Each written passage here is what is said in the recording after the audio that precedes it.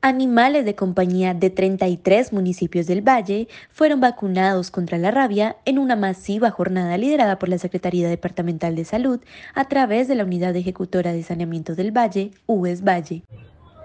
El Departamento del Valle del Cauca, gracias a las jornadas de vacunación que hacemos de manera permanente, ha estado libre de la presencia del virus de la rabia humana en el departamento. No hemos tenido casos de virus de la rabia y tampoco hemos tenido casos en los últimos años, desde el 2012, de virus de la rabia transmitida por gatos o por perros. Le agradecemos a todos los vallecaucanos que nos han acompañado en estas jornadas y que han permitido que los funcionarios de la Unidad Ejecutora de Saneamiento vacunen sus mascotas.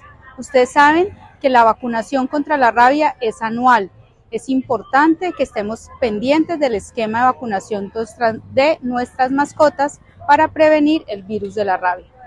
Los habitantes de los municipios atendieron el llamado y llevaron a sus mascotas a los puntos de vacunación. Estoy muy agradecido por la West Valle, por esta jornada de vacunación, ya que es muy necesario para todos estos animalitos que a algunos les hace mucho, mucha falta esta vacunación.